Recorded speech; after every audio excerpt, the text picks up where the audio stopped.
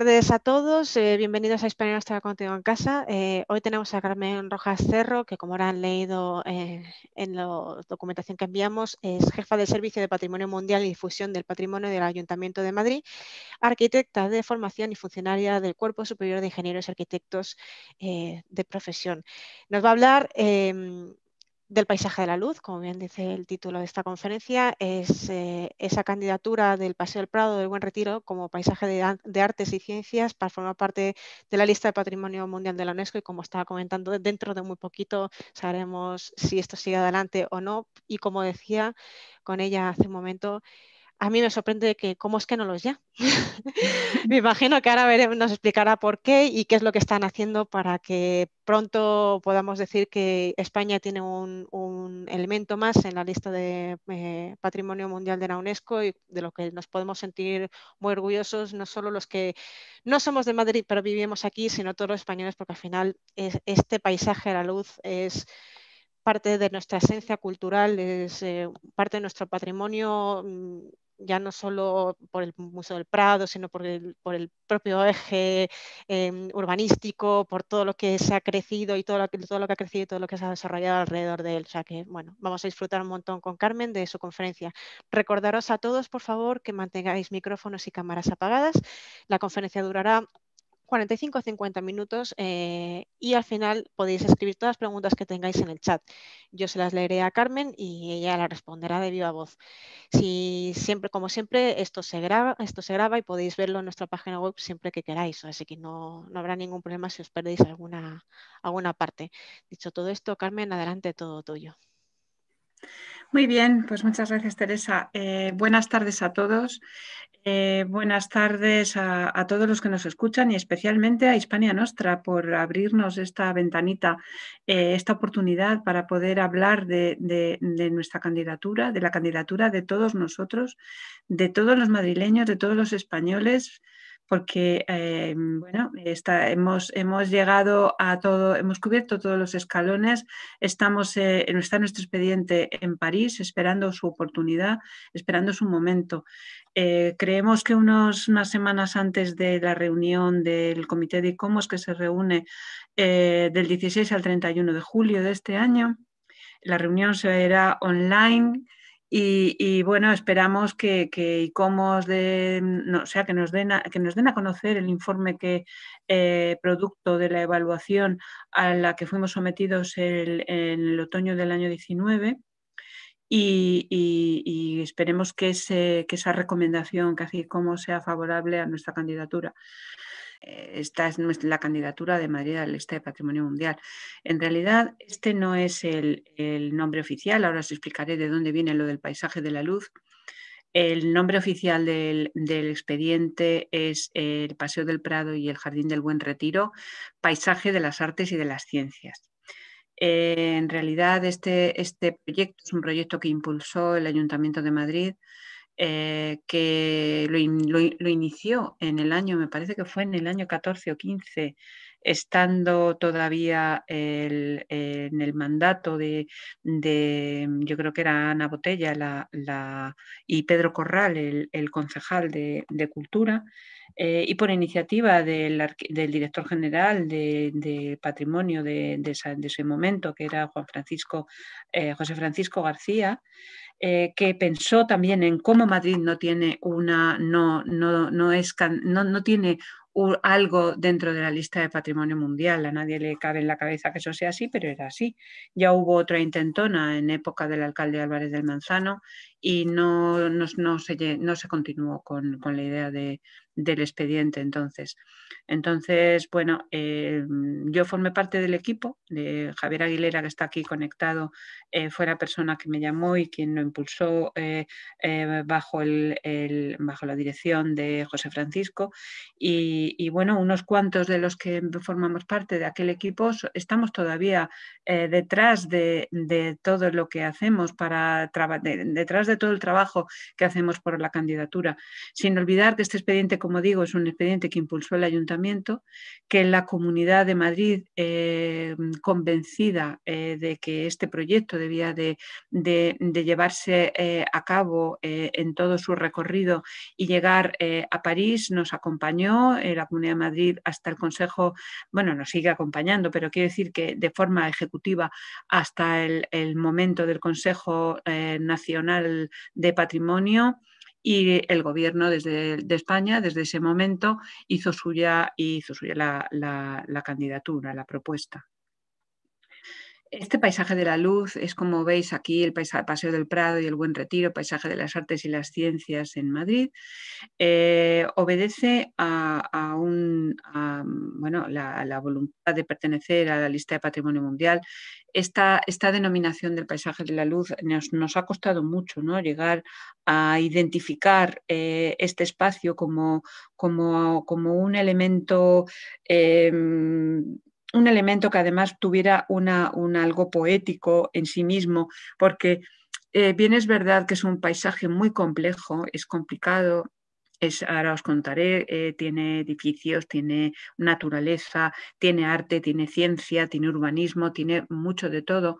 Y sin embargo, pues es una, eh, un compendio de, lo mejor que tiene Madrid, ¿no? que es la luz, su luz, la luz de Madrid, y, queremos eh, la idea de paisaje, ¿no? este paisaje de la luz eh, ahora también os contaré cómo hemos llegado a esa definición de paisaje de la luz en lugar de haber hecho otra, otra reducción eh, más física, eh, geográfica, etcétera, etcétera la lista de patrimonio mundial. Os voy a, yo creo que muchos de vosotros estáis absolutamente enterados y mejor enterados que yo, sobre todo, de en qué consiste la Convención de 1972 para la protección de patrimonio cultural. Simplemente voy a hacer un repaso eh, rápido, eh, pero bueno, el objetivo que tenemos es eh, conseguir entrar en, la, en, esa lista, en esa lista en la que esa convención decide en un momento determinado el patrimonio no es solamente una cuestión de responsabilidad eh, local, sino que es una responsabilidad de toda la humanidad, o sea, del mundo entero, eh, que es importante eh, em, que es, un importante, es importante la idea de conservación global, ¿no? Y, el, estar convencidos de que, de, que ese valor universal excepcional existe y que hay muchos bienes que lo, que lo, que lo tienen, ¿no? 190 países han ratificado eh, la convención, nosotros entre, entre otros, y, bueno, contempla esa idea de, efectivamente de compartir esa responsabilidad sobre el cuidado de ese patrimonio, no solo para nuestro propio disfrute, sino para la, de nuestros hijos, la de nuestros nietos y generaciones venideras. Eh, hay organismos como son ICOMOS o Instituto de Conservación, hay, algunos organismos eh, bueno, que están asociados a, al, patrimonio mundial y que son los que hacen las evaluaciones y por eso os he hablado de que en el año 19 eh, vino un representante de, de, ICOMOS a hacer un examen, fueron unos días agotadores, por cierto, un examen literal de, nuestra candidatura, una, fue, fue una, semana, una semana, una jornada, unas jornadas de trabajo mm, exhaustivas eh, pero bueno, eh, todos teníamos, mm, todos eh, las tres, administraciones, todo el interés del mundo puesto en informar lo suficientemente bien y en aportar toda aquella documentación que hiciera falta, mm, en solventar dudas, en recorrer el, el bien, que eso fue también muy importante. ¿no? Yo creo que muchos de nosotros, muchos de los madrileños, ni, sabemos lo que tenemos, ¿no? Eh, ¿Cuántas personas eh, conocen bien el Observatorio Astronómico? ¿Cuántos han entrado en el Banco de España? ¿Cuántos ¿Cuántas personas lo pasean, lo disfrutan? ¿Saben, conocen las colecciones que, están dentro de, sí, sabemos que el Museo del Prado, los museos, el Paseo del Arte, eh, pero un poquito más allá, más de mm, mm, ir a la ciencia, a la historia, eh, de todo lo que nos envuelve eh, dentro de este paisaje de luz, pues es un, hay, que dar un paso adelante si verdaderamente estamos tan informados, ¿no? que, real, que la realidad no, no, no es esa. ¿no? Aquí veis la acumulación enorme dentro de la World Heritage List eh, de, mm, Europa. Europa está absolutamente llena de, bienes, China también. Eh, bueno, nosotros concretamente, bueno, hay ejemplos por todo el mundo, ejemplos conocidísimos. En España, solo en España tenemos 48 bienes culturales y naturales. En esta reunión del comité del 16 de julio, eh, va por el año 2020 España presenta nuestra candidatura y por el 21 presentan, eh, eh, presentan otra. me parece que es la de la de los la de Galicia, la de la de la Ribeira Sacra. Pero, pero bueno, aquí te, eh, podemos ver ejemplos pues, mm, de los más eh, incipientes eh, una vez aprobada la convención, que fue pues, como es la Alhambra de Granada, todo el tema de Gaudí, del, jardín de, Gaudí, el puente de Portugalete es uno de los últimos que han entrado en la lista, que es una obra espléndida y magnífica de, de arquitectura prácticamente industrial, ¿no? pero o relacionada con el patrimonio industrial. Hay muchísimo, también tenemos mm, paisajes naturales, eh, Doñana, por ejemplo. entonces, eh, Madrid, ¿qué le toca a la Comunidad de Madrid? Madrid tenemos cuatro sitios eh, hoy por hoy. Aranjuez, este, este, sería el, como paisaje en la categoría además de paisaje cultural, San Lorenzo del Escorial, el monumento del monasterio, eh, la ciudad alcalaína, Alcalá de Henares, ¿no? lleno de sus templos, sus monasterios, sus iglesias, su conjunto histórico eh, protegido, el Alledo de Montejo. El de Montejo, que es una joya natural que, maravillosa de la comunidad, que también tiene el reconocimiento de pertenecer a la lista de Patrimonio Mundial. Nosotros vamos en categoría de paisaje cultural, que como sabéis es una, idea eh, preciosa que relaciona al hombre íntimamente con la naturaleza. Es la acción del hombre eh, sobre la naturaleza que existe, ¿no? bien sea a través de, bueno, en este caso de la estopiaria. ¿no? Tenemos ahí un ejemplo precioso de, ese boj eh, recortado haciendo esas formas eh, geométricas maravillosas o tenemos estas, estos viñedos ¿no? en, otra, en otra zona de, la geografía o tenemos incluso intervenciones que buscan el, deleite en el paisaje, ¿no? En, esa, en, esa, conjunción de ese ejemplo, ese templete que veis ahí, a la derecha de la imagen, con esa puesta de sol maravillosa entre esas montañas. Es decir, es esa acción, esa vista del hombre, esa mirada del hombre hacia, hacia la naturaleza maravillosa.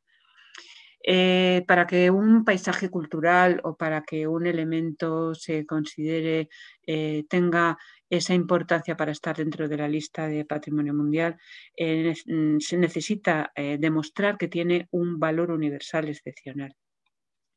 En nuestro caso, el valor universal excepcional se basa en seis temas.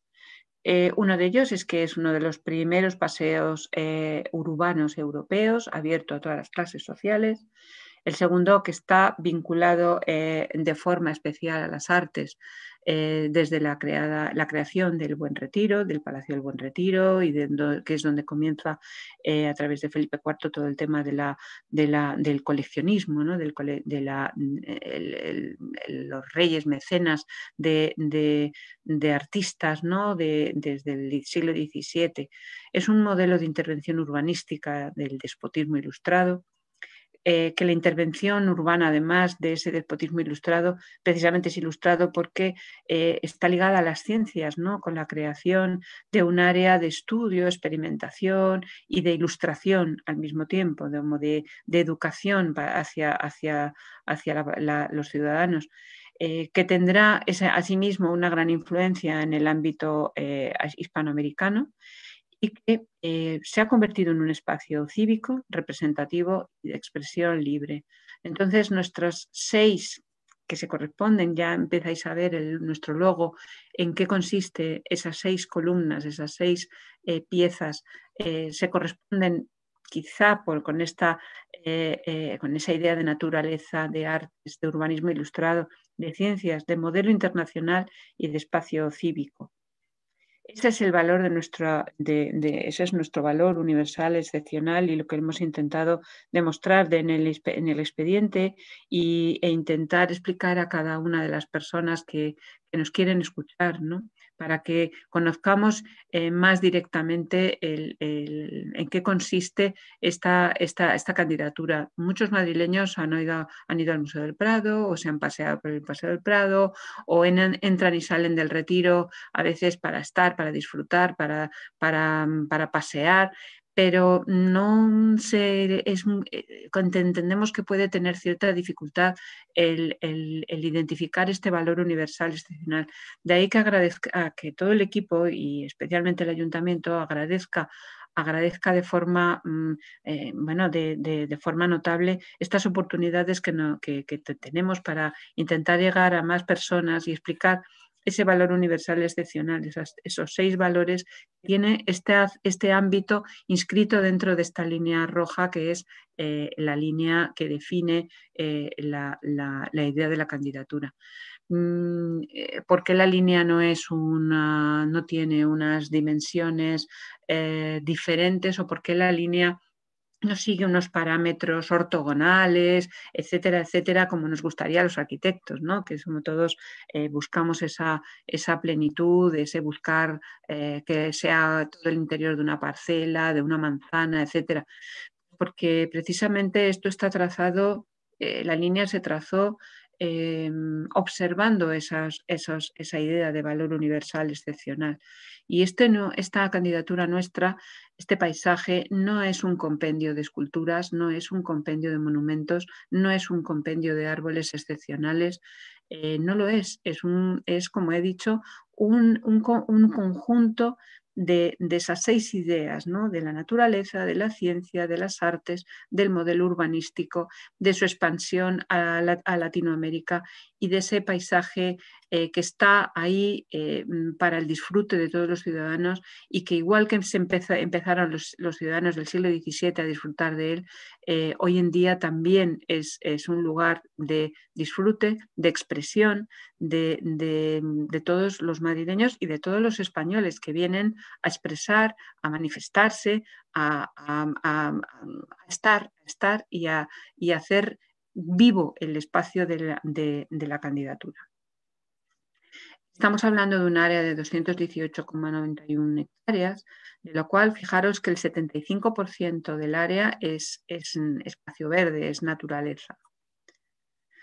Aquí tenéis algunas imágenes que hemos eh, hecho y que hemos preparado para el expediente de la, candidatura. Aquí tenéis reflejado toda esa, toda esa superficie eh, verde eh, aquí tenemos también algunas, eh, este ejercicio, mira, Javier Aguilera, eh, que estará escuchando, le sonará todos estos dibujitos, son de su, mano, bueno, esa especie de, vistas, de visiones de un lado, de otro, de, experimentación, de, disfrute, de, para poder entender que el Paseo del Prado es un paseo arbolado, que mm, el, parque, de, el Jardín del Buen Retiro está en el corazón de la ciudad, que el jardín botánico está ahí, pero es un jardín científico, que todos somos un gran paisaje cultural y que mm, eh, además está integrado de más de 200 elementos arquitectónicos, monumentales, catalogados y protegidos. Aquí tenéis algunos ejemplos de, ellos, ejemplos notabilísimos y que no me voy a detener demasiado porque eh, bueno, todos están en el expediente, eh, todos van a ser eh, difundidos y, bien explicados de ahora en adelante en, los esfuerzos que está haciendo el ayuntamiento a través de las redes sociales, a través de, publicaciones en, papel, etcétera, etcétera. O sea que, bueno, pero bueno, para que veáis la fuente de Cibeles, quien no conoce la fuente de Neptuno, la fuente de Apolo, el Congreso de los Diputados, el monumento de la Reina Cristina, el Casón del Buen Retiro, etcétera todas estas imágenes que, mm, bueno, pues que mm, expresan un siglo XVII, XVIII, donde ya había una, idea de paseo y de, disfrute, donde em, aquí tiene, tiene, gracia esta imagen, ¿no? porque sería la esquina del, del, Paseo del Prado con la carrera de San Jerónimo y yo creo que es de los primeros atascos confirmados y, grabados en un... En un eh, en, una, no en una instantánea, pero sí en un dibujo, en una pintura eh, eh, que todos podemos reconocer. Eh, aquí tenemos un trocito de, plano de esos orígenes, de, ese comienzo del Paseo del Prado, de, esos terrenos eh, llenos de, conventos. Era una zona absolutamente plagada de conventos de, dominicos de Atocha, de los Recoletos, de, de, todos esos terrenos de, olivares, ¿no? porque bueno, Madrid eh, era en realidad como un paseo de, de, ronda, ¿no? Eh, este es el momento en el que ya eh, bueno, se traslada, eh, se, organiza este palacio, el Jardín del Buen Retiro, del, que, del perdón, el Palacio del Buen, Retiro, del que solamente nos queda ese, ese casón, ¿no? Este casón que, en el proyecto de, ampliación del Museo del Prado, Foster tiene idea de, recuperar, ¿no? Y incluso el Museo del Prado tiene idea de, recolocar esos cuadros en, esta, en esas mismas eh, zonas e imágenes para los que fueron diseñados. Ese programa pictórico lo van a recuperar tal cual y, bueno, podremos observarlo como, como, lo, observaron eh, las, gentes de, hace 200 eh, años el estanque del Buen Retiro, con esas eh, naumaquias, ¿no? esas batallas de navales eh, fantásticas que se podían organizar. Ahí tenéis eh, cómo ya el Jardín del Buen Retiro va siendo tomado por los ciudadanos y por la corte y por las actividades que se organizaban en torno a, esas piezas importantes del Jardín del Buen Retiro. Carlos III, en esta imagen que tenemos aquí, es el hacedor de, este plano, de, vamos, el hacedor, la de su, voluntad, porque este es el plano de Hermosilla para ese incipiente Paseo del Prado, eh, en, el desarrollo de, el que tendrá el futuro desarrollo del, Prado, del Paseo del Prado que actualmente eh, conocemos. Es Carlos III el que dice, vamos a colocar aquí un gabinete de ciencias naturales o vamos a, crear un jardín botánico, un jardín botánico en el momento en el que se están enviando expediciones a, todo el mundo, a todo el mundo conocido y no conocido, eh, y del que eh, nacerán esos dibujos fantásticos que colecciona, que tiene, que atesora el, jardín, el Real Jardín Botánico de Madrid eh, en, unas láminas maravillosas que esas exposiciones de, Mutis o, de, otros, de, otras personas que hicieron unos dibujos fantásticos sobre especies no conocidas y que, han enriquecido tanto eh, eh, toda el conocimiento de, eh, que se tiene sobre, sobre, sobre, esta naturaleza y sobre la naturaleza que no se conocía en nuestro país. El Observatorio Astronómico, el otro puntal de la ciencia que Carlos III, III ordena construir Em, ¿Qué pasa con estas seis piezas? ¿no? Eh, volvamos a, ligar eh, los seis valores eh, que justifican el valor universal excepcional con ese logo nuestro de las seis columnas, ¿no? Seis columnas del Congreso de los Diputados, seis columnas del Museo del Prado, antiguo gabinete de ciencias naturales, seis columnas de la fachada principal del Observatorio Astronómico seis columnas de nuevo a la izquierda, eh, seis columnas en, esa, en, esa, fachada central del actual Instituto Cervantes, eh, que, mm, otro tipo de arquitectura. y tenemos la escalera del Museo Naval eh, maravillosa. Mm, del, cuartel general de la Armada, mejor dicho, eh, imágenes de, la Real Academia Española, la Caja de las Letras del Instituto Cervantes, el Congreso de los Diputados. Esta imagen les chocará, pero que también tiene su importancia, ¿no? Esta es, esto es Media Lab, el cuestionado Media Lab ahora, ¿no? Este es uno de los espacios eh, contemporáneos más, más relevantes del, patrimonio arquitectónico reciente y también forma parte, este edificio también forma parte de, nuestro paisaje. instituciones como científicas o que custodian además, por ejemplo, el legado de Ramón y Cajal, el, piezas importantes como fuera este, este, em, este telescopio de Herschel, que, bueno, que, o esta otra eh, eh, este otro, este otro instrumento importantísimo para, poder realizar unas mediciones eh, que forman instrumentos que nos hablan de lo que se hacía en el siglo XVIII y en el siglo XIX y que, y que forman parte de, toda la historia de, nuestra, de, este ámbito. El arte, la, la, expresión artística, es que todo esto está aquí, es que, es que el Guernica también está aquí, como están el, el, cardenal, como están todas las figuras de, importantes de la, de la historia del, arte eh, internacional. Em, lo, que vais a ver ahora es un trabajo muy bonito que hizo para el expediente por encargo del ayuntamiento eh, Javier Ortega, el profesor Javier Ortega y la, eh, cátedra de ideación gráfica de la Escuela de Arquitectura de Madrid y que fue una secuencia eh, temporal de cómo fue, cómo fue cambiando, cómo fue evolucionando toda esta parte del territorio madrileño. ¿no? Eh, esta es la imagen de 1600. Eh, tenemos también aquí la imagen de, 1650, donde vamos viendo eh, cómo la presencia de los jardines y de los estanques se va fundiendo con los olivares de los prados de San Jerónimo y de Atocha el, corte, este corte 1750, si vais reteniendo un poco el cambio, es, espectacular. Lo voy a pasar un poquito de prisa porque es mucho más bonito según se ve eh, de prisa. Esto sería 1800, fijaros cómo van cambiando el territorio, ¿no? cómo va cambiando, cómo va creciendo la ciudad, cómo se va ordenando.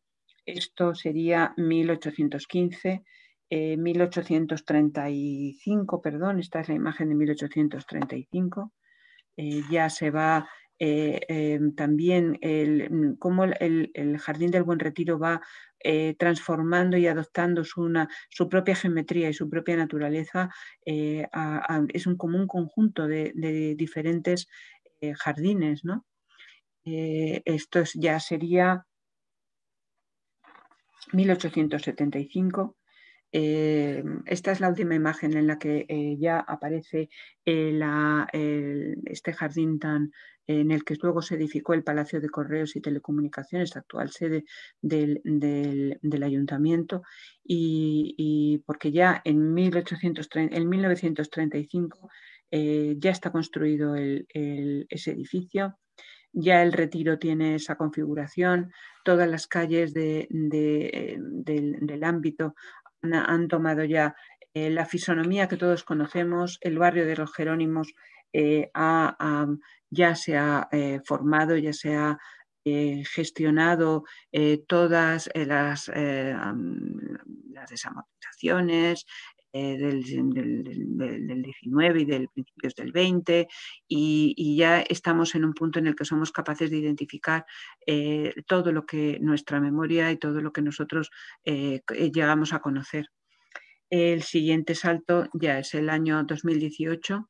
esto es lo más reciente, es el corte más reciente que tenemos eh, dibujado por, toda la gente de Javier Ortega y, que forma parte, toda esta colección forma parte de la documentación presentada eh, en París para, para, valorar nuestra, nuestra candidatura. Esa influencia en Hispanoamérica también tiene un reflejo importante, eh, tiene un reflejo eh, hasta el punto de que eh, mm, había incluso paseos del Prado en, ciudades como La Habana o en Lima. es que la relación con Hispanoamérica es un tema que tuvimos que defender muchísimo en el año pasado, el año, no, sí, el año pasado o a finales, de, a finales del 19 fue. Eh, tuvimos que ir, acudir a París porque ICOMOS nos envió un, informe eh, en el que nos, nos pidió, eh, se nos pidieron distintas explicaciones sobre distintos temas. Y uno de ellos era, se cuestionaba ¿no? que, que, esas, que, esa idea de, Alamedas, esa idea del paseo del Prado tuviera, no tuviera un trasfondo francés y, no tuviera más que ver con lo francés que con lo español. Eh, cuando eso, eh, los, virreinatos en, nuestra, en nuestro ordenamiento jurídico de la época no funcionaban como funcionaron las, eh, las, las posesiones de, de, los anglosajones o de los franceses en ultramar, ¿no?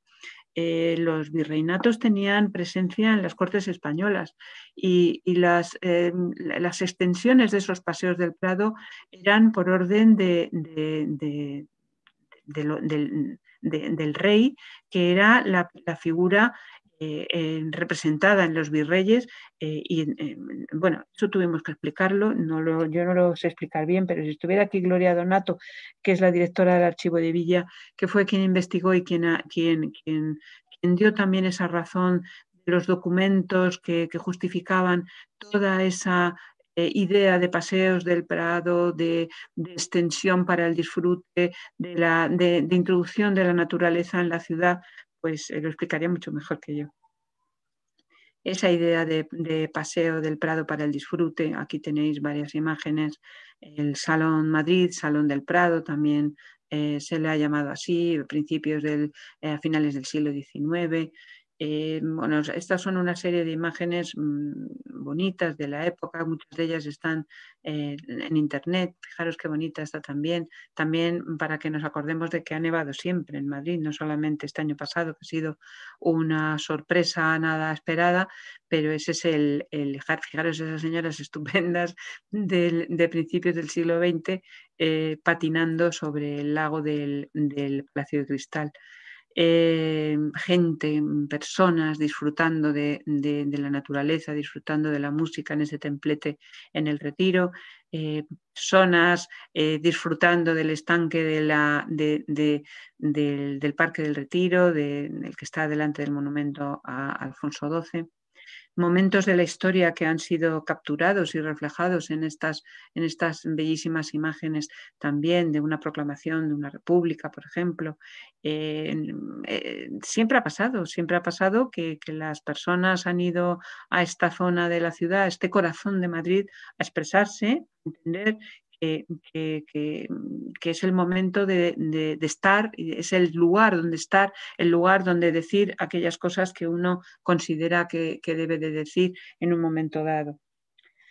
Eh, el disfrute, la, idea de cerrar ese paseo del parado, por ejemplo, a, los coches durante unas horas los domingos permite que las personas vuelvan a, tomar eh, las calles para hacer una sesión de, gimnasia o, una celebración del Real Madrid o del, del Atlético, em, bueno, colocando esas bufandas horrorosas. Yo no soy muy partidaria de esto, la verdad, tengo que decirlo, pero, pero bueno, es lo que, lo que hay. Ahora mismo ya se protegen mucho más eh, nuestras, nuestras estatuas de, posibles rupturas de manos y brazos como hemos tenido que vivir en alguna, en alguna ocasión.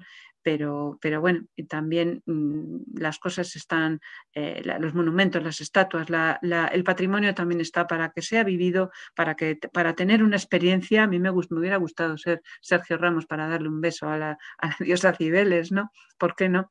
Pero mm, creo que esa, experiencia mm, tiene que ser estupenda y, todos los madrileños y españoles tienen, tienen derecho a, disfrutar de, esos momentos y de, vivir mm, junto al patrimonio. Eh, antiguamente había eh, una, este, este, os lo coloco aquí porque tiene mucha gracia, me hizo mucha gracia, es una instrucción para el uso del, del, nuevo, del paseo nuevo del Prado. esto es de 1773, es que había tanta gente y había tanto caos, como hemos visto en esa imagen de que hemos querido decir que era como el primer, eh, el, el reflejo del primer atasco eh, en, la, vía pública. Eh, bueno, mm, este bando es muy gracioso y muy simpático si tenéis ocasión alguna vez de, ojear y si no, haremos lo posible por, publicarlo. Eh, es, muy curioso, ¿no? Porque te dice lo que se puede hacer, lo que no se puede hacer. lo que está bien visto y lo que no está bien visto por parte del resto de ciudadanos. Eh, bueno, la fuente de la alcachofa, la fuente de Cibeles, este es un montón de imágenes que os pongo únicamente para ilustrar toda esta, esta, esta belleza, ¿no? esta belleza que tenemos entre manos y que muchos de nosotros estamos absolutamente convencidos de que no sabemos si en julio, pero en algún momento el resto del mundo se dará cuenta de, lo, bellísimo que es el conjunto de, ese arte, de esa ciencia, de esa naturaleza, de, ese conocer, de ese disfrutar, de ese vivir estas son aquellas bibliotecas que había en, el Parque del Retiro, donde, donde los, los chavalines, las mayores y los no tan mayores podían eh, elegir un libro y sentarse a leer, etc. Eh, he pensado que como sois Hispania Nostra, pues además podía hablaros de o querríais conocer algunos aspectos sobre la protección y sobre el sistema de gestión de nuestra candidatura. Eh, el estado de conservación del bien y los factores que le afectan es un, es un tema eh, proceloso y un poco enrevesado y complicado porque, bueno, no, no, necesito explicaros lo difícil que es la ciudad de Madrid, lo difícil que es trabajar a tres bandas de la administración y lo, lo, complicado y lo complejo que es según quien esté en unos mm, asientos o en otros, ¿no? El, estado actual de conservación depende de la intensidad del uso, depende de la contaminación atmosférica, del cambio climático y esto puede afectar a la conservación del espacio público, de la naturaleza ordenada, de las colecciones, de los monumentos ornamentales, de la edificación, etcétera. Eh, ¿Qué factores afectan al bien? Pues eh, también hay factores debidos al desarrollo, como he anotado aquí, factores debidos al entorno, catástrofes naturales, em, el turismo, esa visita responsable o no responsable a los sitios de patrimonio mundial, el número de habitantes en el perímetro del bien. Eh, nuestro, nuestro bien es un bien Em, con no demasiados habitantes, em, hay poca residencia dentro de lo que es el barrio de, Jerónimos y ya para buscar residentes tienes que entrar ya en el barrio de las letras, que es una zona eh, limítrofe ya con, con, la, con el ámbito definido el tema de las catástrofes naturales, pues mira, mm, hemos tenido, eh, no, sé si llamarla una catástrofe natural, pero un poco sí, ¿no? Yo creo que la nevada de, este, de comienzos de año, pues eh, es una catástrofe natural, es una, bueno, ha, hecho bastante pupa eh, en toda la ciudad, tenemos que decir que en el ámbito de nuestra candidatura no ha sido tan grave la situación, a pesar de que el retiro ha tenido una afección eh, importante, pero, pero en, un principio fueron muy pesimistas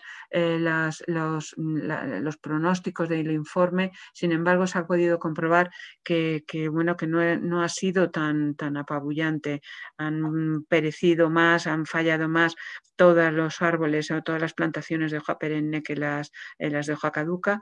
Y, bueno, no, no, los servicios del ayuntamiento han trabajado sin, descanso para, para poder eh, ponerle eh, remedio a esta situación. Si bien es verdad que no podemos olvidar que los arbolados, la naturaleza, pues es eso, es, es naturaleza, son seres vivos y necesitarán un ciclo, dos ciclos, tres ciclos para volverse a poner eh, en orden, ¿no?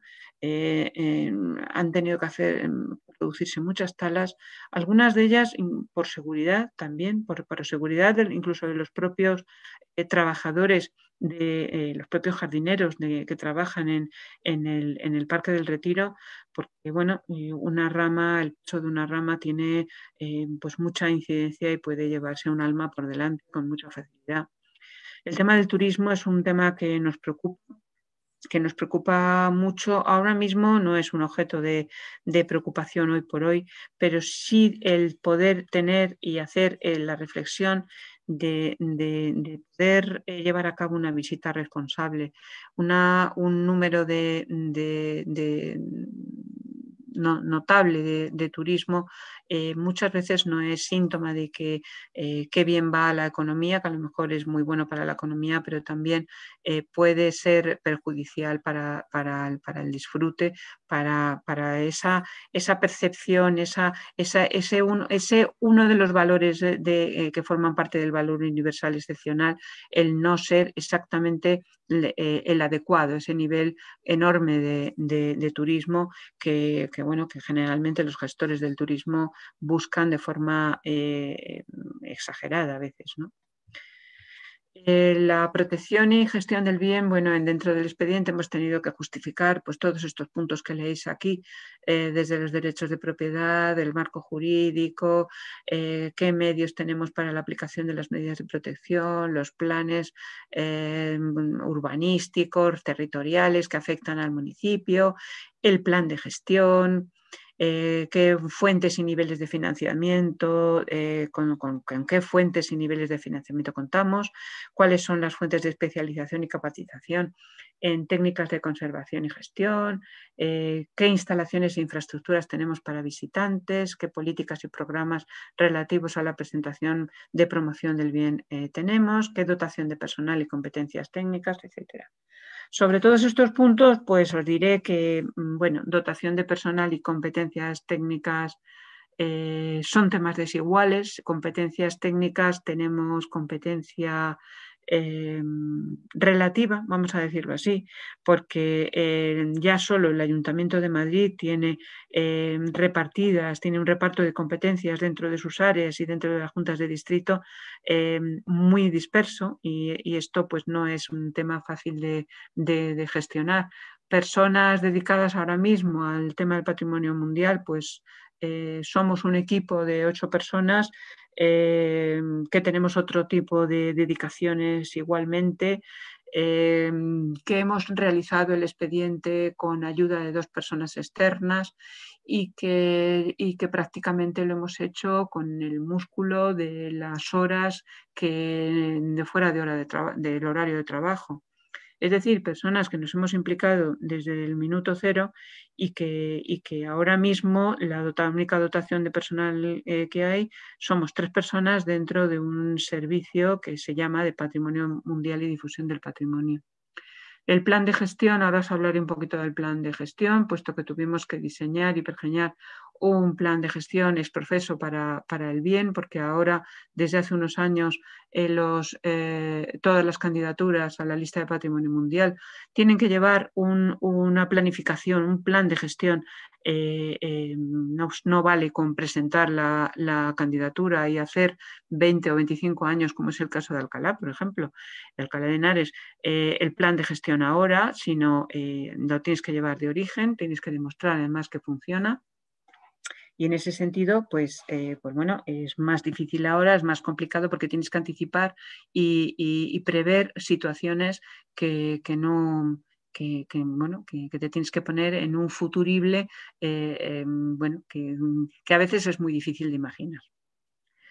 Ojalá, ojalá tuviéramos esa sensación de, amor tan grande por nuestro patrimonio como tenían en esta época de la, de, comienzo de la guerra civil, en el que Em, protegieron con, auténticas mm, eh, mm, organizaciones pétreas, eh, murallas pétreas nuestro patrimonio y gracias a ello también eh, lo podemos tener todavía con nosotros.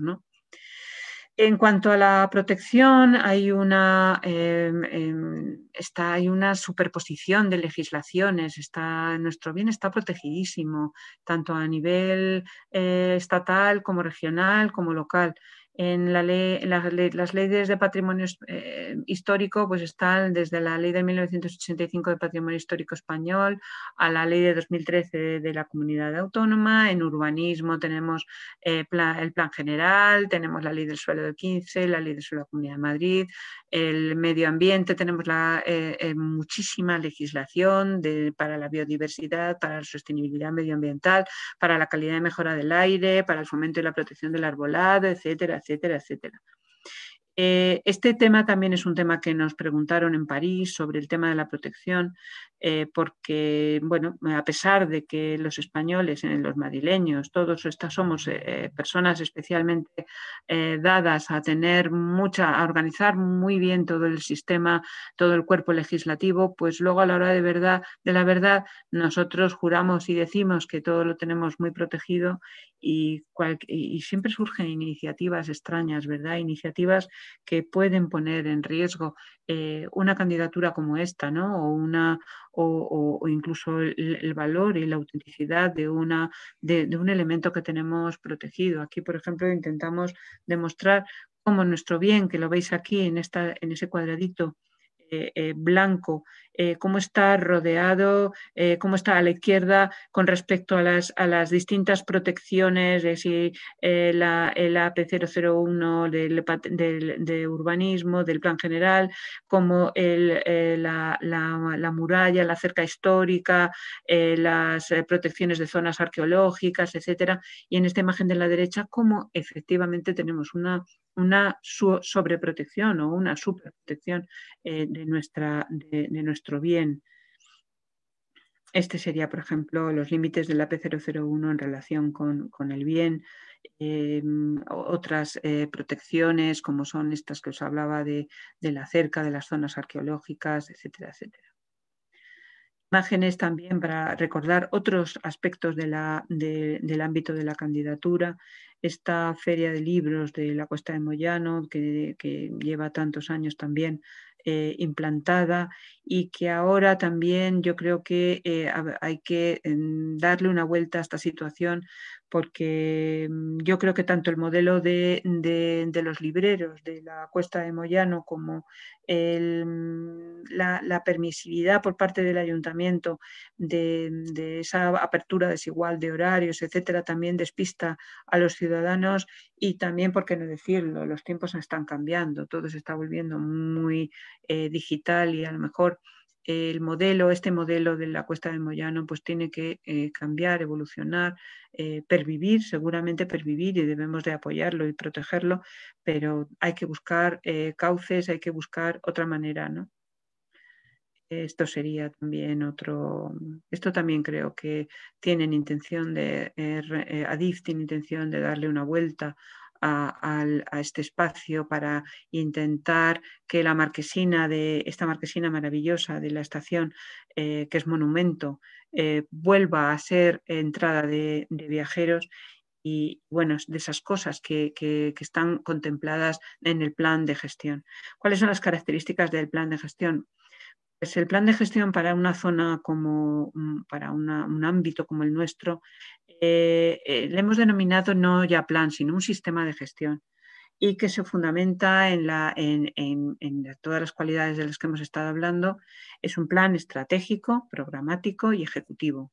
Es estratégico porque define líneas o estrategias a seguir y que recorre eh, eh, todo el ámbito físico y que concreta luego en programas. Es programático porque define esos programas de esas líneas estratégicas y es ejecutivo porque comprende a niveles de coordinación, de asesoramiento y de participación.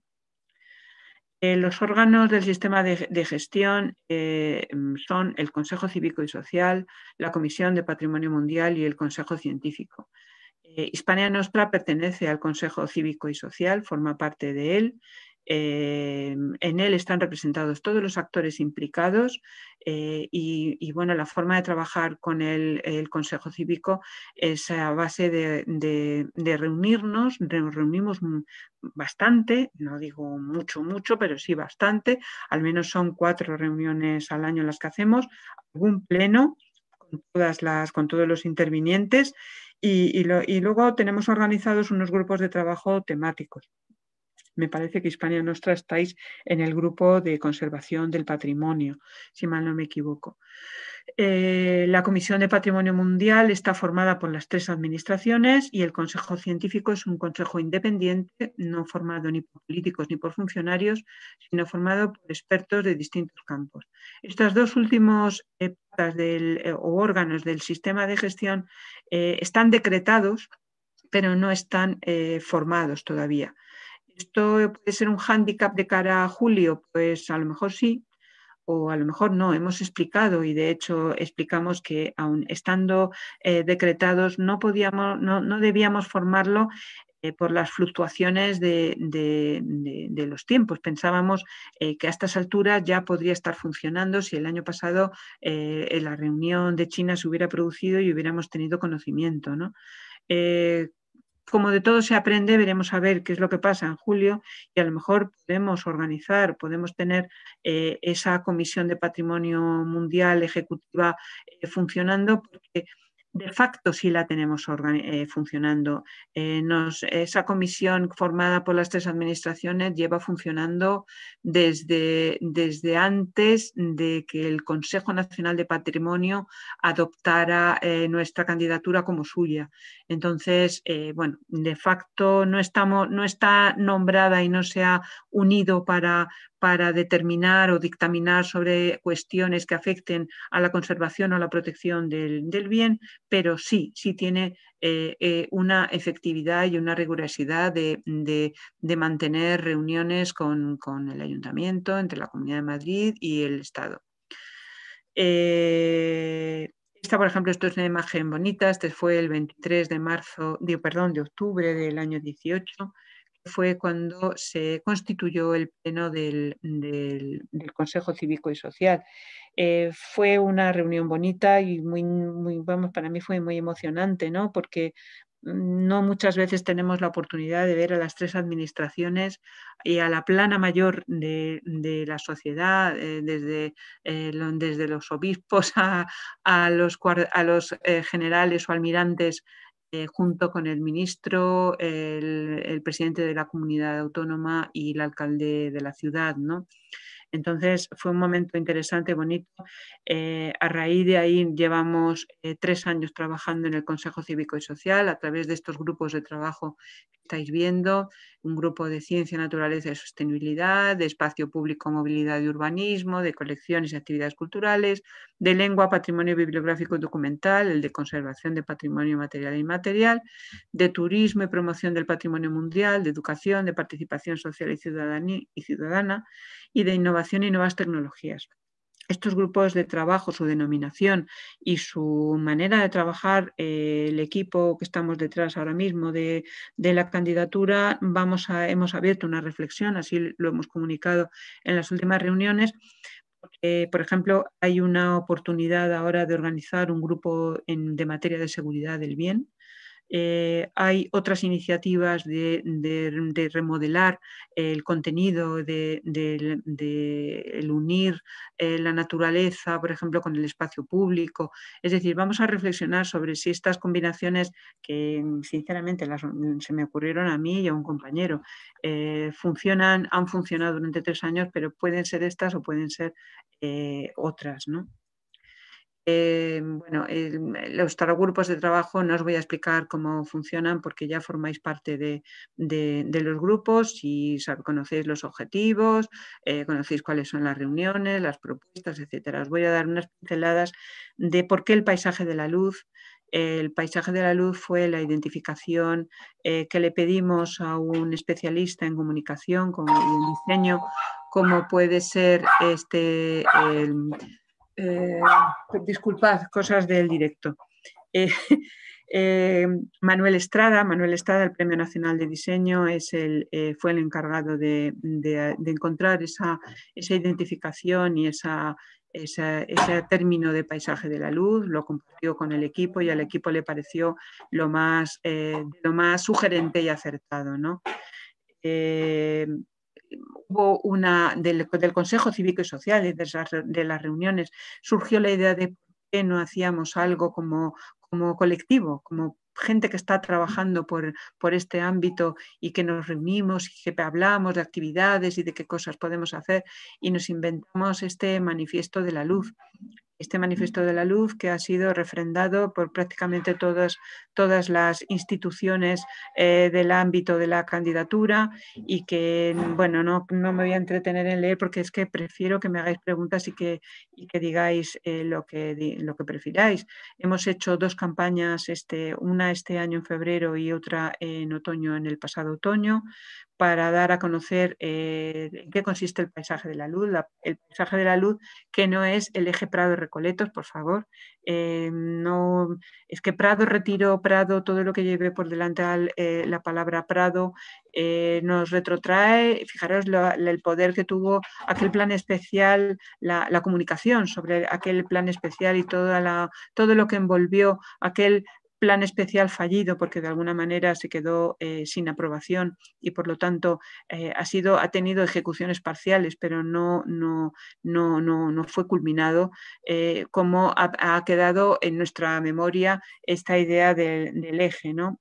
Esta es la comunicación que se presentó. Este es el ámbito de nuestra candidatura. Este es, son retazos de, actividades que se pueden hacer, de, la naturaleza eh, diseñada por la mano del hombre, eh, vivida, eh, la, vida en, el, en, el, en, la naturaleza, la arquitectura, el, arte, la ciencia, etcétera, etcétera. Muchas gracias a todos. Muchas gracias por vuestra paciencia y por vuestra, por vuestra atención y ojalá que todo salga bien. Muchas gracias, Carmen, a ti por tu, por tu tiempo y tu explicación. Eh, tenemos varias preguntas, así que voy a ir directamente a ellas porque tenemos muy poquito tiempo. Em, eh, por ejemplo, de Cristian, eh, aunque una de las preguntas ya creo que se ha quedado respondida, te las voy a leer aún igualmente.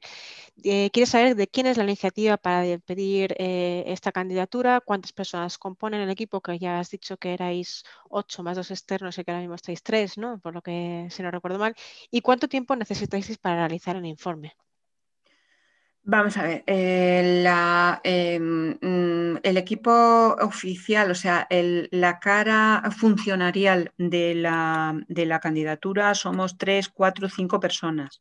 Eh, concretamente, el Servicio de Patrimonio Mundial somos tres, pero, pero bueno, está también la jefa del Departamento de Paisaje, está el propio director general, Luis Lafuente, y está la subdirectora de Patrimonio, eh, o sea que somos unos cuantos más, cinco, seis personas. De, esa es la cara funcionarial. A eso tenemos que añadir eh, otros dos funcionarios que son el director del archivo, de la directora del archivo de Villa, el director de la imprenta artesanal, eh, el director general de espacio público, José Luis Infanzón, y esos dos externos que son Mónica Luengo y, Enrique Sanz de, con Arquitectura Ediciones. Eh, también forman parte del equipo el propio, aunque es de la última jornada y ha formado parte estos, en estos últimos tiempos eh, Manuel Estrada como el diseñador de esa identidad de la candidatura y del logo y Jorge Ruiz Ampuero que es el arquitecto que nos ha diseñado el centro de visitantes que vamos a implementar en el Palacio de Cibeles. ¿Y mm, eh, cuánto tiempo habéis eh, necesitado para realizar el informe? A ver, el tiempo, pues eh, yo creo que nos pusimos con ello como en junio, julio. De, mm, había un expediente previo, un expediente previo que no tuvo fortuna y sobre ese expediente previo se le dio la vuelta y el valor universal excepcional fue radicalmente modificado. Eh, y hemos tardamos pues en realidad dos años largos, dos años en formalizar el expediente. ¿Y mm, sería posible consultar la documentación que habéis creado o tendrá que ser a posteriori de que la candidatura pues yo sé que sí, eh, que se puede consultar em, poniéndose muy pesados. En realidad no se debe consultar hasta que pase eh, julio de este año.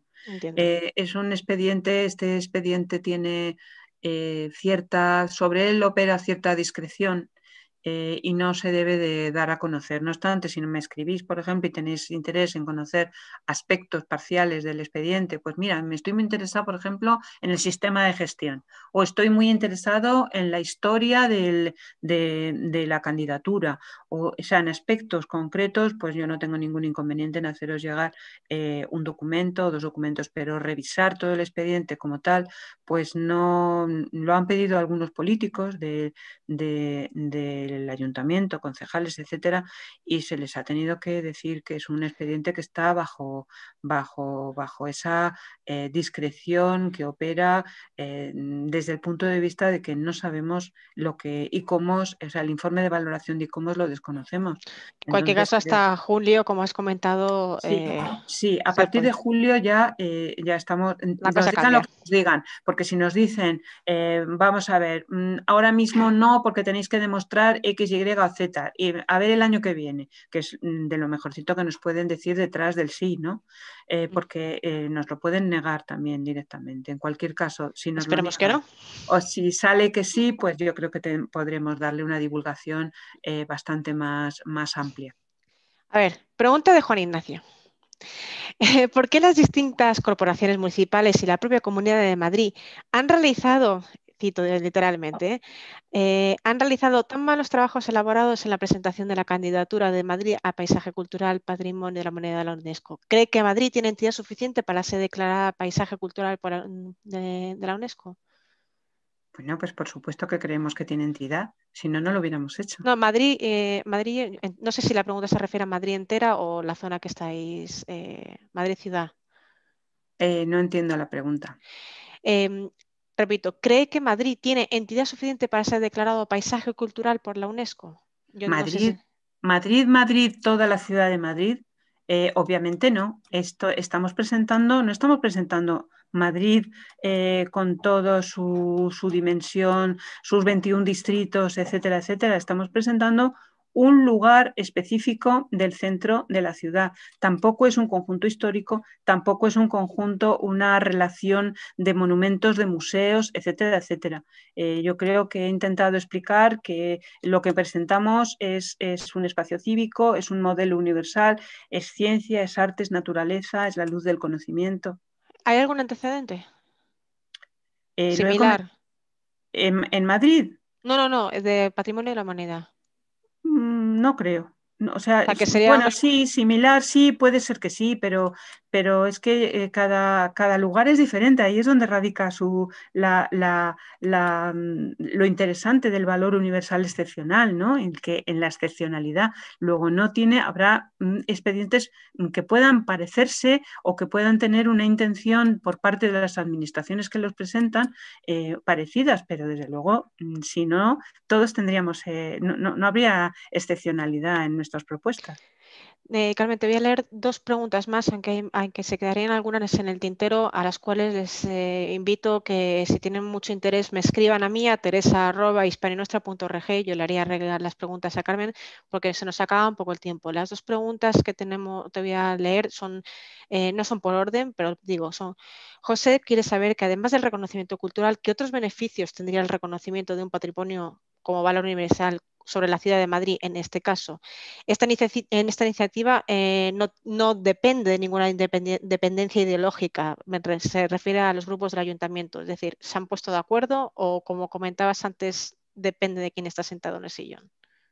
Bueno, eh, es evidente que depende de quién esté sentado en el sillón, empuja con, una, eh, con más ganas que otros o, creen en el proyecto de una manera más, más, más voluntariosa que otros.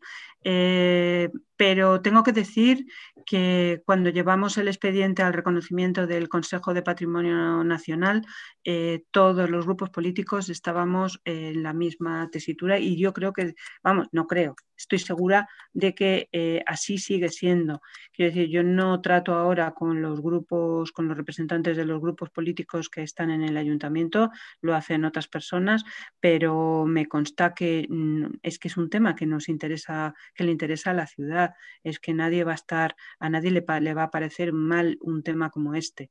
Eh, cuando yo estuve en la coordinación de cultura, que fue el momento en el que impulsé con más, eh, tuve oportunidad de impulsar eh, este tema desde el, al, Consejo de Patrimonio Nacional y hasta París, me cuidé muy mucho de, de, contarlo. Yo creo que hay que hablar mucho y que hay que explicar las cosas y que hablando y explicando las cosas puedes interesar a las personas y, al final yo creo que todo el que quiera eh, trabajar por la cultura de nuestra ciudad, trabajar por nuestra ciudad, va a tener un, interés idéntico, lo haga eh, con una bandera o con otra.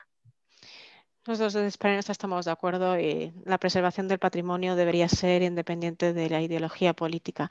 Una última pregunta de Merced, eh, que quiere saber eh, que si el hecho de que se presente otra candidatura española puede perjudicar eh, la madrileña o es independiente, o sea, que hay imparcialidad o...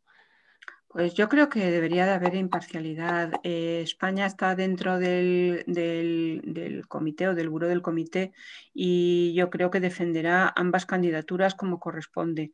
Eh, bueno, como madrileña puedo sentir un poco de recelo respecto de la candidatura gallega hasta cierto punto. Yo creo que son candidaturas muy diferentes, que son candidaturas que cada una tiene su, propia, eh, su propio valor universal, excepcional, que estarán perfectamente contados y explicados complicados y confío en los técnicos del Ministerio a ciegas eh, porque sé que son profesionales impresionantes y que van a defender todo como corresponde. Tengo que decir que el equipo del ayuntamiento ha contado también con ayuda de técnicos de la Comunidad de Madrid y técnicos del Ministerio, eh, que todos estamos a una, que ha habido una coordinación excepcional y ha habido un trabajo eh, excepcional codo con codo unos unos y otros con la misma perspectiva de llegar a París y y, que, nuestra candidatura, mm, que tiene un calado muy importante dentro de la cultura mundial, pueda eh, estar en la lista.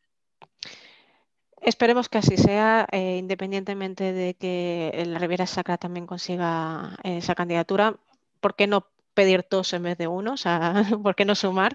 Eh, nosotros estaríamos encantados y por supuesto de que el, paisaje de la luz entrase a formar parte de esa exclusiva lista.